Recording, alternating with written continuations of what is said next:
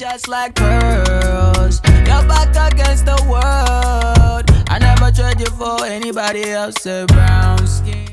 Lights Up Bronx Arts. Today is Tuesday, August 17th. We are back. I am Mr. Canuel. And I am Clarence Campbell, your new assistant dean. All right. We hope you all had a wonderful, wonderful first day. Day two, we're just gonna make it a little bit better. We're all still learning, figuring out what's happening in the school now that we're back in person. That's really exciting.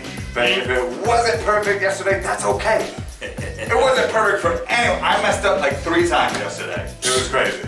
Um, but let's get right into it, okay? So again, you're back at the lockers today. If you got it yesterday, great. Keep practicing, keep going. If you didn't quite get it, that's okay too. You get a whole another day to begin and try. Here's that quick tutorial again. The combo for this locker is 34, 18, 42. So when we do this, when you go to your locker, you want to clear the lock by going clockwise or to the right. A few times to just kind of clear it, right? Our first number is 34. So I'm going right to that number. Again, I'm going clockwise, and I'm going to make sure that red dot is right on 34, and I'm going to press it, all right? That was going to the right. My next move is now to the left. This number is 18, and I want to pass that number one time, 18, and then I want to hit it again on the second time around to 18.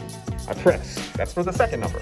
The last number, now I'm going back to the right, is 42, and I'm going straight to that number. I hit 42, and then this is the tricky part. You want to pull and turn, and start pull and turn at the same time, just ever so slight. And that is how you open your locker. Make sure you practice a few times just so that you build that muscle memory, um, and that you have it. So I'm gonna give you a little instructions on the hallway and on the procedures on the hallway. So for one, you have two minutes to go from one class to the next. So we're not doing the prolonging of staying, trying to chill with the bros. You see the girl, hey girls, we're not doing that. It's, we got one class to the next. Straight and simple. Uh, please use your indoor voices. Nobody wants to hear you from across the hall talking about, yes, this class visit. Nobody, mean, we don't care, but nobody wants to really hear that. I'm not gonna really care, but you know, let's do the right thing and you know keep our inside voices to ourselves. And um, the running, no. Hopping, no. Walking, acceptable. So let's make sure that we're always walking at all times, and that's pretty much about it. But we all know, we all know, not at all. That was perfect. But we all know whose voice we're gonna be hearing yelling. Yeah, probably mine. Maybe mine. Yeah. Maybe mine. And definitely Miss Menengo. Oh, definitely her. Definitely. All right, all right. So we can listen out for that. Everyone, keep it quiet so we can always hear where she is, where she's coming. Yeah, she's coming. all right. We're going into our first day vibes. Yes. Yesterday, the Lights Up crew was out there asking students, "How was your first day? How did it go?" All right. So check it out. Here it is for you right now. Hi, my name is Angelina. I'm gonna ask some of the scholars how their first day of school was. Isaiah, how was your first day of school? I had a good day of school. It was good. We did we did a lot of fun stuff today. Mia, how was your first day of school? My first day of school was great because I got to meet a lot of people that I saw virtually.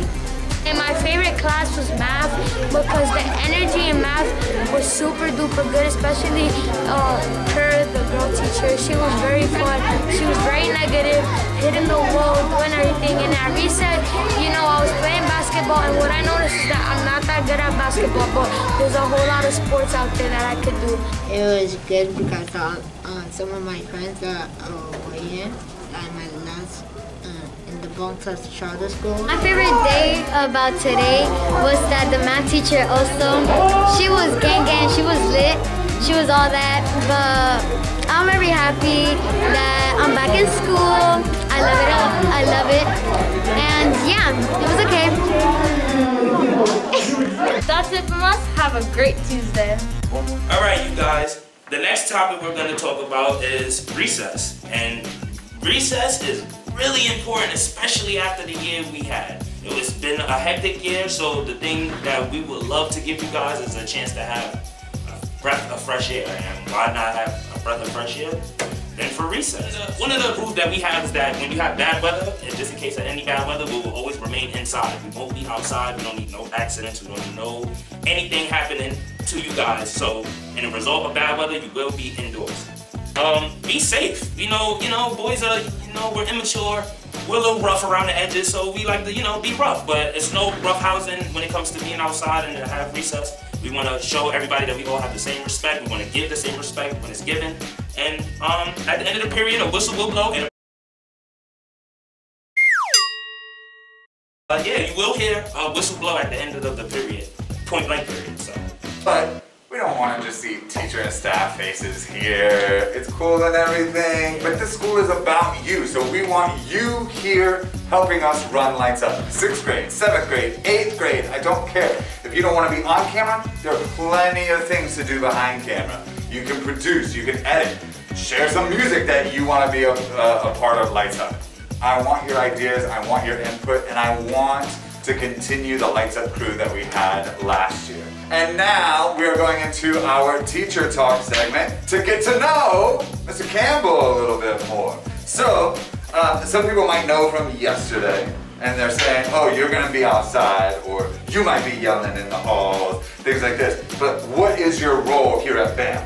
Well, I'm first of all, I'm an assistant dean. My main thing is heavy support. I want to be able to be you guys' go-to whenever for anything, especially when it comes to like our teachers, because the teachers here are like are my colleagues. So I want to make sure that they know that I have their backs when it comes to you guys. So that's what I'm here for. Awesome, thank you so much. Um, uh, and I didn't say it. Welcome to the BAM family. Thank you We're so very much. to have you. I'm so Um, happy. So what are you most looking forward to? What are you excited about? Um, mostly just interactions with the kids. Just it's been a year, so I know everything is kind of gonna be like new for them. So I just want to be able to, you know, be another go-to person for them to understand that it's a lot. Like COVID was a lot. Yeah. So I know it's a lot of emotion running through uh, these kids' heads, and I just want to be the, the support for them. Absolutely. What are you nervous about? Anything? Anything gets you nervous? Not really. If I'm nervous, I, you wouldn't see it. It'll be on my own. I'm not really like the try to be nervous type. I try to break ice as much as possible.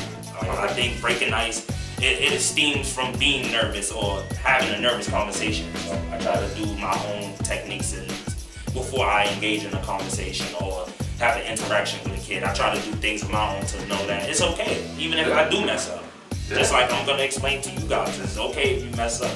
It's about what you do after you mess up. Uh, what are you listening to these days? What, what's what's the music that you want to share out with the world? I'm listening to a little bit of her right now, little Uh-huh. Daniel Caesar. Okay. Um, I'm listening to everybody kinda. Just I'm just everywhere with it. Wherever I feel like is an ear for me, I'm, I listen to pretty much anything. So All right, all right. So we'll have to exchange some music. yeah, definitely, definitely. All My right. playlist is like top five. I got All right, all right. Top. So new music, go to Mr. Campbell.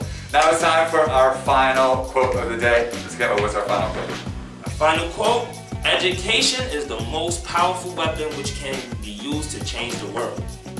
Have a wonderful, wonderful Tuesday. We'll see you tomorrow. Oh God.